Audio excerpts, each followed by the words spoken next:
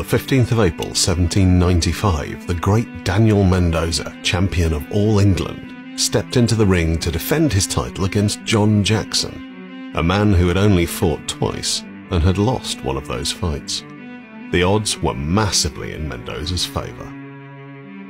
After two minutes, Jackson punched Mendoza hard in the throat, and as he staggered backwards, he dropped him with a left to the temple.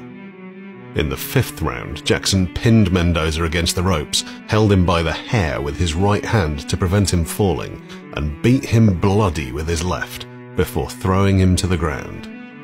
To Mendoza's eternal credit, he came back up to scratch, but Jackson, who scarcely had a mark on him and had yet to break a sweat, knocked him clean out with an undefended strike to the jaw.